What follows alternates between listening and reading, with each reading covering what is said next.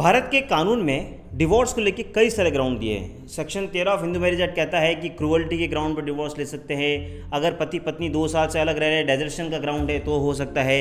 अगर कोई partner extra marital affair में अंगेज है और एडल्ट्री करता है तो भी उसके ग्राउंड पर आप डिवोर्स ले सकते हैं। एंड कई सारे ग्राउंड हैं। लेकिन हमारा एक्सपीरियंस ये कहता है कि 10 में से 8 डिवोर्स के केसेस क्रूअल्टी के ग्राउंड पर होते हैं। क्रूअल्टी यानी कुछ भी तरह की हो सकती है। फ़िज़िकल क्रूअल्टी हो सकती है मेंटल क्रूअल्टी हो सकती है। अगर आप अपनी पत्नी को पैसा नहीं दें तो वो भी इकोनॉमिक क्रूअल्टी हो सकती है। यानी क्रूअल्टी की कोई डेफिनेशन नहीं है। क्रूअल्टी को हमेशा केस वाइज केस डिस्कस किया गया है। आज हम जिस जजमेंट पे वीडियो बना रहे हैं, वो इतना शानदार जजमेंट सुप्रीम कोर्ट ने दिया है, जो इस बात को कहता है कि क्रूअल्टी क्या है। और सुप्रीम कोर्ट ने एक और बात की व्यवस्था कर दी है कि ज़रूरी नहीं है कि कोई ना कोई ग्राउंड होना चाहिए डिवोर्स का। कई बार अगर पति पत्नी में नहीं बनती है तो भी उस ग्राउंड पे आप डिवोर्स ले सकते हैं। आज हम बात करेंगे उस जजमेंट के बारे में क्रूअल्टी के ग्राउंड के बारे में और उस नए ग्राउंड के बारे में कि अगर आपके पार्टनर से नहीं बन रही है तो कैसे आप जल्दी जल्दी उनसे डिवोर्स ले सकते हैं। वेलकम बैक टू चैनल मैं हूँ आपका अपना वकील दोस्त एडवोकेट नमन मनोज और आप मेरे साथ देख रहे हैं लीगल शॉर्ट्स ये वो चैनल है जो आपको जागरूक करता है कानून की हर छोटी से बड़ी जानकारी के साथ। शुरू करते हैं आज का ये खास वीडियो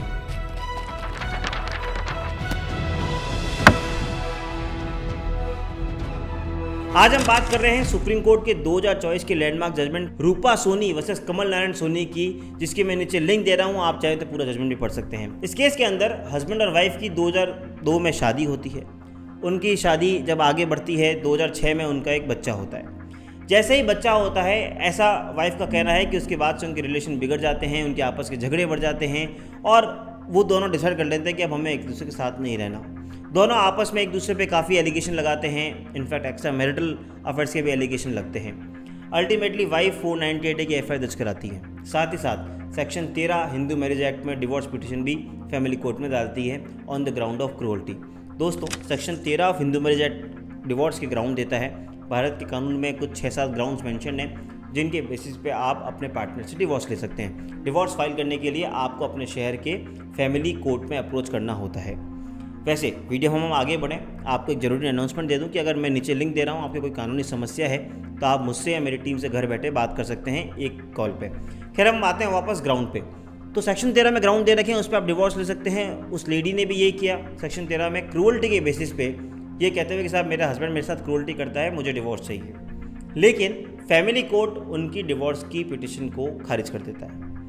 इसको चैलेंज करते हुए वो लेडी पहुँचती है हाई कोर्ट लेकिन हाई कोर्ट भी उनको डिवोर्स पिटिशन को खारिज कर देता है और कहता है कि नहीं, हमको नहीं लगता कि डिवोर्स ग्रांट किया जाना चाहिए। अल्टीमेटली मैटर पहुँचता है सुप्रीम कोर्ट सुप्रीम कोर्ट में जब मैटर पहुँचता है और दोनों पार्टी अपने आर्ग्यूमेंट्स कर लेती है तो सुप्रीम कोर्ट को एक फैक्ट ध्यान में आता है और ये पता लगता है कि दोनों पार्टी पिछले कई सालों से अलग ही रह रहे हैं। यानी अब इनको साथ रखने का भी कोई सेंस नहीं है। आप सिर्फ़ उनको फोर्स करें तो एक अलग बात है अदरवाइज़ ऐसा उनके बीच में कुछ भी नहीं है। सुप्रीम कोर्ट यहाँ डिस्कस करता है क्रूअल्टी के ग्राउंड को। क्रूअल्टी के बारे में honourable supreme court point out करती है कि क्रूअल्टी क्या है, इसको डिफाइन करना पॉसिबल नहीं है। एक एक्स पर्सन के लिए जो क्रूअल्टी हो सकती है, वो शायद वाई के लिए नहीं हो, जो वाई के लिए हो, वो शायद जेड के लिए नहीं हो। यानी क्रूअल्टी एक सब्जेक्टिव टर्म है। हो सकता है मुझे कोई चीज़ में क्रूअल्टी लगे, आपको नहीं लगे।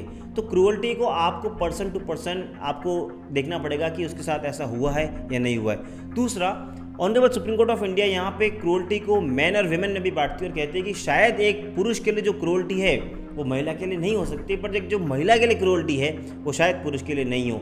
यानी आपको हर केस के फैक्ट्स एंड सर्कमस्टेंसेस को देखना पड़ेगा। उस ग्राउंड पे ही आप डिसाइड कर पाएँगे कि क्रूअल्टी है या नहीं है। और रही बात क्रूअल्टी की कौन प्रूफ करेगा? तो बर्डन ऑफ़ प्रूफ हमेशा उस पर्सन पर होता है जो कोर्ट के अंदर अपनी याचिका यानी पिटिशन लेके आया है।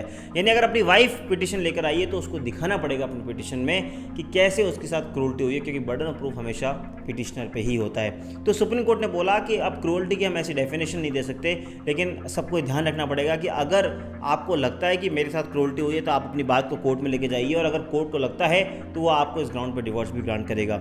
लेकिन यहाँ से सुप्रीम कोर्ट एक आगे स्टेप और बढ़ती और कहती है कि कई बार कुछ ग्राउंड्स मैंशन नहीं भी हों तो हमें समझ में आता है, क्योंकि कई बार हस्बैंड, वाइफ साथ रह के भी साथ नहीं रहते हैं। कई बार उनकी बॉन्डिंग नहीं होती है। कई बार कोई कारण नहीं होता, लेकिन फिर भी आपस में उनका वेव लेंथ मैच नहीं होती है।